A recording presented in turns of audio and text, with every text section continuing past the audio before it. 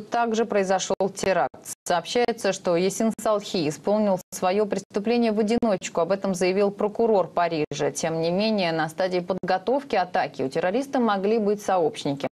Помимо самого боевика, полиция задержала его жену, сестру и еще одного предполагаемого соучастника. Следствию удалось восстановить точную хронологию событий.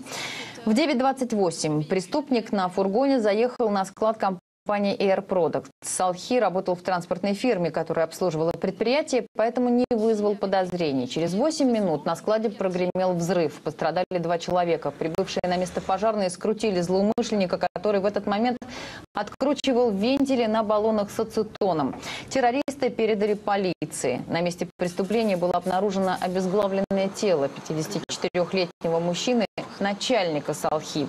Возле фургона лежал окровавленный нож. Около ограды экстремист оставил два исламистских флага с надписями на арабском.